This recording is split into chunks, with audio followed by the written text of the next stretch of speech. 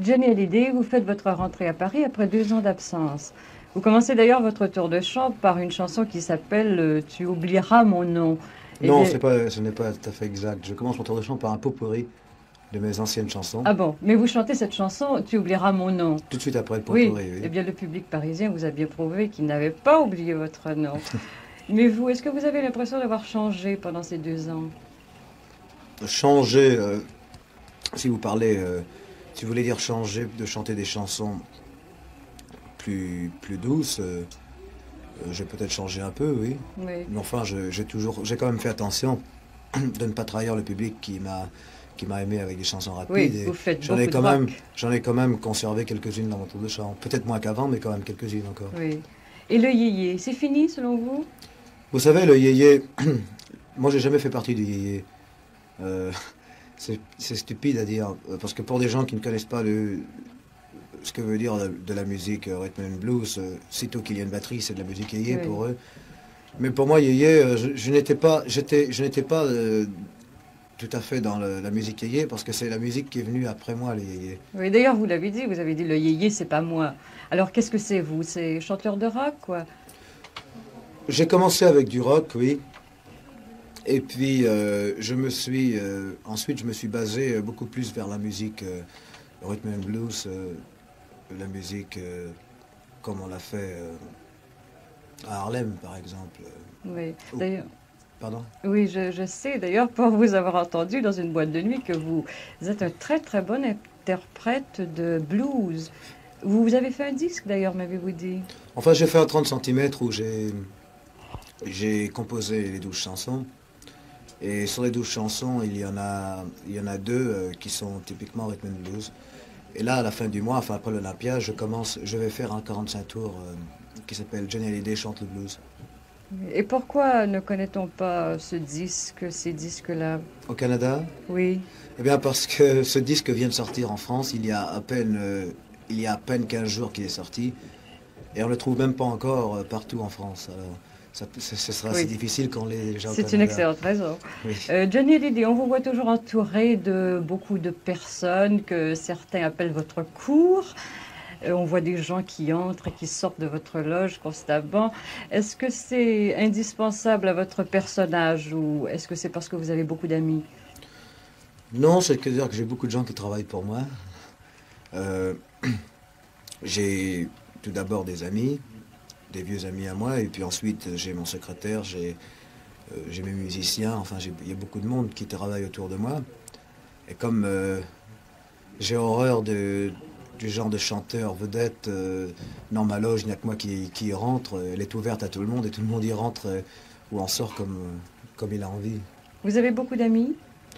Bon, j'en ai deux, trois, deux, trois très bons que je considère comme mes meilleurs amis, oui. Qui sont-ils Euh, Je ne vais pas que vous les nommiez. Je- si, je peux vous les nommer. Non, ce un- sont des chanteurs, des gens du métier Absolument pas, non. Moi, mon, mon, mon meilleur copain, c'est mon plus vieux copain. Ça fait 15 ans que je le connais. On a été élevés dans, le, dans la même rue, dans le même quartier à Paris. Et il est toujours resté mon copain. euh, on se voit pour ainsi dire tous les jours. Et puis j'en ai d'autres qui en sont des copains euh, que je connais depuis 2-3 ans qui travaillent avec moi.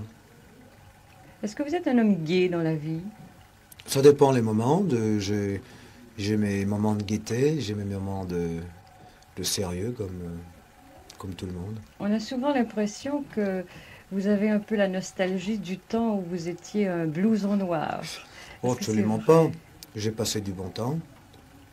Je n'ai jamais été vraiment blouson noir. Euh, Je suis né dans un quartier euh, à Paris où, pour ainsi dire, tous les garçons qui, qui y sont nés ont été plus ou moins blouson noir, puisque je suis né à Pigalle.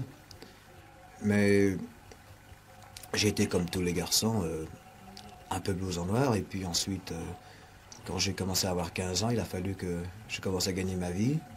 Alors j'ai commencé à travailler et puis et puis je, il s'est trouvé comme ça. Mes parents étaient artistes, j'ai commencé à chanter. Ça, a- ça a marché. euh, ça a commencé à marcher vers 18 ans. Et puis Facilement? Facilement, c'est-à-dire pour quelqu'un comme Aznavour, oui, c'est- ça a été Ouais. facile à côté de lui parce que lui, il a mis 15 ans pour réussir. Il en a, il en a vraiment ce qu'on appelle dans le métier, il en a bavé. Moi, j'en ai bavé, mais d'une autre façon. Euh, ça n'a pas été vraiment long, seulement les, dans le métier, quand, on, quand ça ne marche pas très bien, on dit on se prend un C'est bide. toujours trop long. On se prend un bide et en parlant de bide, je m'en suis pris des sérieux quand même. Oui. Vous avez dit un jour dans une entrevue où on vous l'a fait dire, maintenant je suis triste à mourir. Pourquoi est-ce que vous ne vous amusez plus maintenant? Bah, d'abord, je n'ai jamais dit ça. Alors êtes-vous triste à mourir? Euh, non, admettons simplement que je ne suis pas vraiment, euh, je ne suis pas vraiment, je n'ai pas un caractère très très très très drôle. Je suis, je pense beaucoup trop, euh, je suis un peu masochiste sur les bords. Alors, Je euh, croyais que c'était le privilège des femmes, ça. non, pourquoi non? Moi, je suis assez torturé comme garçon et, et pour des petites choses de rien, je m'en fais des, des montagnes. euh. Oui, d'ailleurs, on, vous, on a souvent identifié votre personnage à celui de James Dean. Est-ce que vous trouvez que vous avez quelque chose de semblable? Euh, absolument pas, parce que je ne connais pas James Dean, je regrette, parce que ça a été pendant très longtemps mon acteur favori, mon idole même. Euh, je ne peux pas me, me comparer à lui parce que je ne le connais que d'après ses films, et c'est très possible que James Dean, en dehors de ses films, soit, ait été quelqu'un de, de totalement différent des rôles euh, qu'il jouait à l'écran. Vos fans vous appellent Johnny le roi. Alors Johnny le roi, dites-nous, est-ce que les rois sont heureux? Écoutez, je ne sais pas si je suis un roi, non, je suis, je suis un chanteur et puis dans mon métier, j'essaye de faire le mieux que je peux. Je suis heureux comme je suis heureux et je suis malheureux comme tout le monde, ça dépend. Euh,